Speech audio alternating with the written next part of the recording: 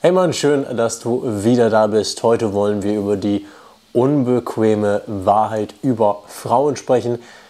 Und ich möchte dir auch am Ende des Videos erklären, warum ich denke, dass diese unbequeme Wahrheit gar nicht so unbequem ist. Aber man muss sie einfach kennen, um zu verstehen, was wirklich passiert.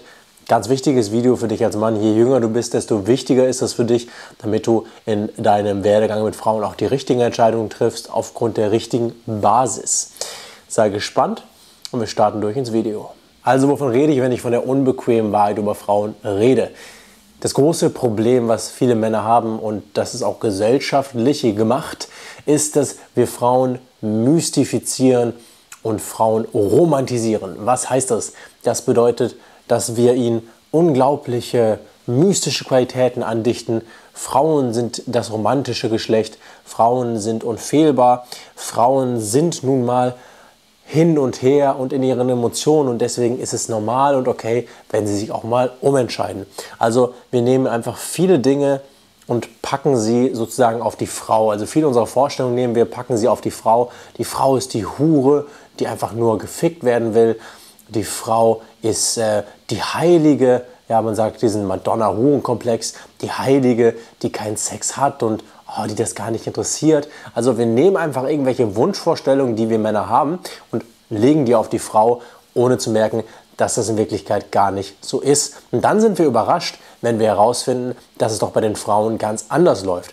Und jeder, der mal in einer Beziehung war, die dann irgendwann zu Ende gegangen ist und wo man dann ähm, gemerkt hat, oh wow, jetzt ist hier kaum die Beziehung vorbei und schon hat die den nächsten Mann am Start, schon ist sie in der nächsten Beziehung. Jeder Mann, der das mal erlebt hat, und ich glaube, das dürften viele sein, wird sich gedacht haben, wow, alles, was ich über Liebe und Romantik gedacht habe zu wissen, ist auf einmal zerplatzt und ist verloren gegangen. Liegt aber einfach nur daran, dass man einer Illusion aufgesessen war, einer Täuschung. Deswegen heißt es ja enttäuschen, das Ende der Täuschung. Das ist etwas Gutes. Du bist also einer Illusion aufgesessen. Wir haben ja schon über das Thema die eine gesprochen, die eine große Liebe und dass ich dir gesagt habe, es gibt mehrere passende Frauen für dich, nicht unbedingt nur die eine, aber das ist wieder eine dieser Romantifizierungen, die auch viel durch Hollywood-Filme, aber auch durch Werbung, ähm, durch auch deutsche Serien, Filme allgemein, wird das viel injiziert in die Person. Bücher, also in Geschichten wird das immer so dargestellt. Deswegen sehen wir das als normal. Die unbequeme Wahrheit, die du jetzt über Frauen verstehen musst, ist, Frauen, genau wie wir Männer, genau wie jedes andere Lebewesen auf diesem Planeten, folgt einem gewissen Programm auch. Ja? Also wir sind alle auf gewisse Art und Weise programmiert. Wir sind alle dazu programmiert. Ich fange es jetzt mal ganz basic an, auf einem Level, wo wir uns sicherlich nicht darüber streiten müssen. Wir sind alle darauf programmiert, nach Nahrung zu suchen. Ja, das ist ein ganz klassischer Basic Instinct, würde ich sagen, genauso wie der Basic Instinct, sich fortzupflanzen. Manche Leute machen das nicht. Du kannst dich aktiv dagegen entscheiden, genauso wie du dich aktiv gegen das Essen entscheiden kannst. Aber unser Instinkt, unser Bedürfnis ist trotzdem da. Gegen all diese Sachen kannst du dich auch entscheiden. Deswegen will ich nicht sagen, das, was ich gleich über Frauen erzähle, ist nicht so, Frauen sind dem hilflos ausgeliefert und alle Frauen sind auf jeden Fall immer so. Nein, aber die natürliche Tendenz bewegt Frauen in genau diese Richtung und das zu verstehen ist total wichtig. Natürlich kann man sich auch dagegen entscheiden. Eine Frau, die zum Beispiel in einer oder sehr krass kirchlich aufgewachsen ist, kann natürlich durch diese Doktrinen der Kirche äh, verschiedene Bedürfnisse auch, ich sag mal, komplett beherrschen oder unterdrücken, je nachdem, wie man es sehen möchte. Ähm, das ist auch eine Möglichkeit, natürlich. Und in der Kirche geht man ja auch davon aus, dass eben diese Unterdrückung genau das ist, was uns Menschen vom Tier unterscheidet. Ähm, aber gut, das ist wieder eine andere Sache, über die wollen wir jetzt hier nicht reden. Also, was ist diese unbequeme Wahrheit, von der ich jetzt die ganze Zeit rede, in Bezug auf Frauen? Männer haben das oder die Vorstellung, diese romantisierte Vorstellung, hey, wenn, eine, wenn ich mit einer Frau zusammen bin, dann ist es für immer und sie liebt mich für die Person, die ich bin.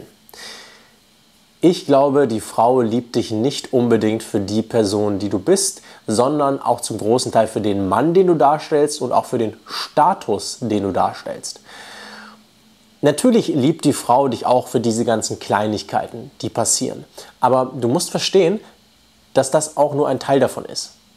Und jetzt könnte man natürlich sagen, hey, auch Männer, die keinen besonders hohen Status haben, haben ja Frauen an ihrer Seite. Jetzt ein Hartz-IV-Empfänger, der hier in Marzahn wohnt oder so, der hat jetzt nicht so den sozialen hohen Status, auch der hat eine Frau an seiner Seite, stimmt, aber der hat dann meistens eine Frau an seiner Seite, die, was den sexuellen Marktwert, ihren eigenen sexuellen Marktwert angeht, nicht viel höher hätte kommen können. Also eine Frau, und ich glaube, da müssen wir uns auch nicht drüber streiten, weil ich finde es ganz wichtig, dass man diese Diskussion so führt, dass man nicht irgendwelche Vollidioten im Männercamp oder im Frauencamp, Thema Feminismus, gleich so anstachelt, sondern dass man wirklich erklärt, hey, guck mal, es ist tatsächlich logisch, was man hier redet. Finde ich ganz, ganz wichtig.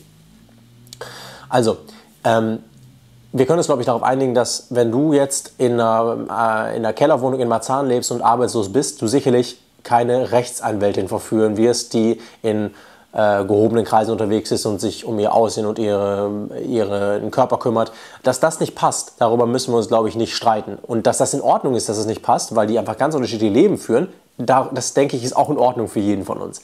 Genauso ist es natürlich, dass wenn du deine Frau hast, die irgendwie auf Hartz-IV-Niveau rumdümpelt ähm, die natürlich auch keinen super krassen Mann abkriegen kann. Da kann es halt sein, dass dieser Mann, der auch in Marzahn wohnt und vielleicht mm, nicht Hartz IV kriegt, sondern äh, einen, keine Ahnung, Mindestlohnjob oder was auch immer, für sie sozusagen das Beste ist, was sie kriegen kann. Ja? Und dann manche Leute sagen halt, oh, sie liebt ihn für sich selbst, da geht es gar nicht um Status, aber auch da geht es um Status. Sie hat halt, sie hat halt den Mann sich geholt, den sie gerade noch bekommen kann, den mit dem höchsten Status von ihrem Punkt aus gesehen.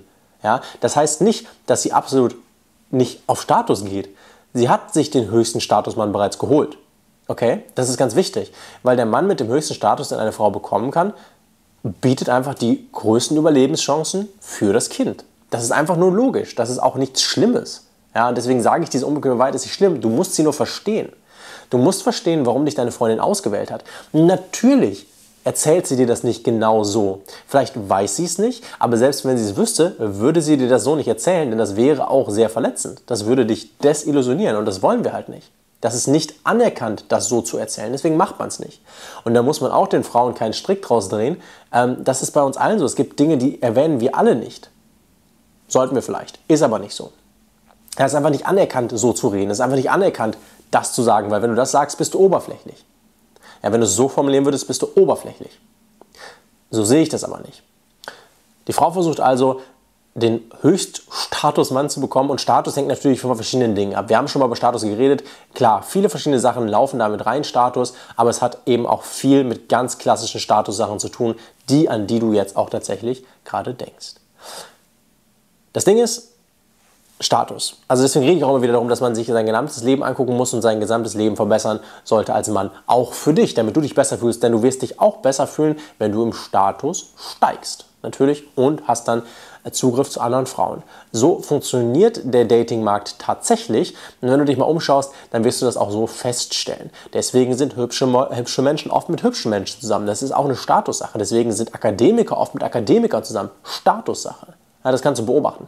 Klar gibt es die Ausnahmen, aber die bestätigen nur die Regel. Das heißt, dir muss klar sein, dass deine Frau nicht nur wegen dir mit dir zusammengekommen ist und weil du so toll bist. Klar bist du toll, aber du bist auch toll wegen deines Statuses. Denn jeder Mann, der mal in einer Beziehung war, am Anfang, sag ich mal, auf so einem Level war und dann in der Beziehung ein bisschen rumgefaulenzt hat, und ich habe das auch gemacht, und dann, sage ich mal, auf einem geringeren Statuslevel angekommen ist, hat gemerkt, wie auf einmal das Interesse der Frau nicht mehr so groß war und dann vielleicht die Beziehung zu Ende war und die Frau ist eine andere Beziehung gegangen mit einem Status höheren Mann. Wer das schon mal erlebt hat, kann das gerne mal in die Kommentare schreiben. Das ist nichts Ungewöhnliches und ich finde auch nichts Schlimmes. Das ist einfach die normale Programmierung. Das hat über ganz lange Zeit das Überleben für die Frau und ihren Nachwuchs am allerbesten gesichert.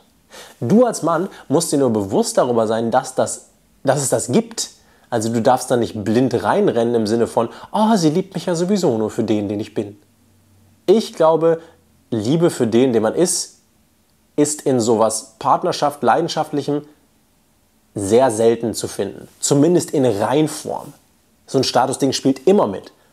Wie gesagt, es gibt da krassere Auswirkungen und weniger krassere. Wenn du jetzt von der Kirche kommst, dann nimmst du diese Sachen vielleicht weniger wahr, dann haben diese Sachen vielleicht einen geringeren Einfluss, aber da sind sie trotzdem. Sie sind immer da. Und das muss dir bewusst sein. Frauen werden dich nie so lieben, wie du denkst, dass sie dich lieben sollten oder könnten oder müssten, sondern sie werden dich eben so leben, wie, lieben, wie ich es gerade erzählt habe. Ja, es hat mit Status zu tun. Es hat mit deinen Erfolgen als Mann auch in gewisser Weise zu tun. Du musst natürlich diesem Schema nicht folgen. Du kannst natürlich auch sagen, ich scheiß da drauf und kümmere mich nicht um diese Sachen, kannst du auch machen. Das ist ja kein Muss. Ich erzähle dir nur davon. Du kannst drauf scheißen. Dann musst du dich nur damit abfinden, dass du, ich sag mal, eine geringere Qualität an Frau bekommst, was vielleicht den Status angeht, was vielleicht das Aussehen angeht, was vielleicht emotionale Reife angeht, wobei das nicht unbedingt damit zusammenhängen muss. Dann musst du dich wahrscheinlich mit einem geringeren Status an Frau zufrieden geben. Das ist ja auch nicht schlimm. Das ist nur einfach so, man muss sich dessen bewusst werden. Es geht nicht darum zu sagen, das ist schlimm und das ist das, was du unbedingt machen musst. Du kannst machen, was du willst. Deswegen ist es ja dein Leben. Aber du musst dir dessen bewusst sein. Dir muss klar sein, dass das so läuft. Und wie gesagt, jeder Mann, der in einer Beziehung war, hat das sicherlich auch so schon mal erlebt mit diesem fliegenden Wechsel, sage ich mal. Ja, der Mann ist erstmal eine ganze Weile down nach einer Beziehung, wenn die nicht geklappt hat. Aber die Frau ist oft so, meistens schon den nächsten Typen am Start und dann direkt in der nächsten Beziehung. Für die Frau war das auch in der Vergangenheit wichtig. Ja? Wenn du ein Kind bekommen hast, dann musstest du auch direkt in der nächsten Beziehung sein, weil irgendwer muss sich ja darum kümmern. Es gibt diese ganz interessante Theorie und ich weiß, diese Uhrzeittheorien sind immer so ein bisschen verschrien, wenn es um diese ganze Dating-Sache geht. Aber ich finde, das klingt sehr sinnvoll. Angenommen, ich habe hier einen Stamm. Ja, das ist mein Stamm, der Tim-Stamm. Und du hast hier deinen Stamm, der Frank-Stamm. So, und ich überfalle jetzt deinen Stamm. Und ich töte alle Männer in deinem Stamm. Was mache ich mit den Frauen? Die Frauen töte ich nicht, die Frauen nehme ich halt, keine Ahnung, mit in meinen Stamm, um mit ihnen zu schlafen oder was auch immer. Ja, die Frauen oder damit sie arbeiten oder was auch immer. Ich töte sie aber nicht. So, und das war ja oft so. Die Frauen wurden dann nicht getötet, sondern wurden halt mitgenommen. So, jetzt musst du als Frau die Fähigkeit entwickeln, um zu überleben, dich schnellstmöglich von diesen Männern hier emotional abzukapseln, die jetzt tot sind, und dich auf neue Männer einlassen zu können. Weil nur so kannst du überleben. Das ist eine Überlebensstrategie. Deswegen fällt es Frauen so einfach, in einer Beziehung zu cutten und in der nächsten Beziehung zu sein. Es fällt ihnen einfacher als Männer, weil das deren Überlebensstrategie war. Ich habe auch was gehört, ich, ich, habe das nur mal gehört, ich, ich werfe das nur in meinen Raum, das ist jetzt keine valide Aussage. Ich habe gehört, dass Frauen öfter dieses Stockholm-Syndrom haben, dieses äh, psychologische Syndrom, dass wenn du entführt wirst, du mit deinem Entführer sympathisierst. Frauen haben das angeblich öfter als Männer, was auch wieder Sinn machen würde aufgrund der Theorie, die ich gerade erklärt habe. Frauen sind da also anders gewired, ja? Also Wichtig ist einfach nur zu erkennen, diese unbequeme Wahrheit, die unter all diesem Romantizismus und all diesem, oh, Frauen sind so toll, oh, Frauen sind wie Engel. Frauen sind nicht wie Engel. Frauen sind auch Menschen, genau wie du ein Mensch bist. Männer sind Menschen, Frauen sind Menschen. Und wir haben alle unsere, unsere biologische Programmierung. Das heißt nicht, dass wir dieser biologischen Programmierung folgen müssen. Das müssen wir nicht. Aber sie ist da und sie hat einen Einfluss. Und dessen müssen wir uns bewusst sein. Und du musst dir bewusst sein, wie das auf dem Datingmarkt läuft. Dieses, oh ja, sie liebt mich für mich selbst, sie liebt mich, weil ich ich bin. Das ist einfach nur dumm und kurz gedacht. Ja, wenn du denkst, dass das so funktioniert, denk nochmal. Kann natürlich sein, dass du, ich sag mal, eine Frau bekommen hast, die so krass statusmäßig unter dir ist, dass du wirklich einfach auch ein bisschen chillen kannst, weil sie niemals da dran kommen wird und niemals denken wird, sie kann was höher statusmäßiges haben. Das kann natürlich auch sein. Ja? Aber sei dir dieser Sachen bewusst, sei dir dieser Statussachen bewusst und ähm, diesen, diesen Dynamiken dahinter bewusst. Und wie gesagt, niemand möchte die gerne ansprechen. Warum? Das klingt halt einfach fies. Ja, also wenn ich das erzähle, du denkst, man könnte jetzt denken, was bin ich für ein fieser Typ? So. Aber ich möchte es nur aufdecken, ich möchte es nicht bewerten. Das eine ist nicht schlechter als das andere. Es ist einfach so, ja. Und das ist einfach Teil unseres Menschseins. Und das ist doch auch in Ordnung. Ne? Aber die Leute wollen das nicht gerne sagen, weil das nicht so cool klingt, wie zu sagen, sie liebt mich für den, der ich bin. Ja, sie liebt dich für den, der du bist, aber sei dir bewusst, was das wirklich bedeutet, der, der du bist. Ja, dein Status, dein Stand, das sind Sachen, die spielen damit rein. Und wenn du das gerne mal selbst ausprobieren möchtest, wenn du meine Hypothese verifizieren möchtest für dich selbst, was ich dir nicht empfehlen kann, dann geh mal in eine Beziehung, arbeite vorher, also kümmere dich vorher um dich, geh in eine Beziehung, faulenze rum und guck mal, was passiert. Guck mal, ob die Beziehung noch genauso gut ist wie am Anfang. Und dann wirst du merken, oh, Tim hatte wahrscheinlich recht. Geil, dass du dabei warst. Wir sehen uns morgen wieder. Links neben mir kannst du den Channel abonnieren, wenn du keine weiteren Videos verpassen willst. Unter mir kannst du dich für ein Coaching dieses Jahr bewerben, wenn du viele Frauen kennenlernen willst, mit Frauen schlafen willst, eine Freundin finden willst. Das kriegen wir erledigt. Wenn du dieses Jahr zum geilsten Jahr deines Lebens mit Frauen machen willst, kommst du zu mir ins Coaching. Da kannst du dich bewerben. Unten rechts geht es zu einem Video, das ich dir empfehle, wenn dir das Video gefallen hat. Wir sehen uns morgen wieder. Bis dahin, ciao.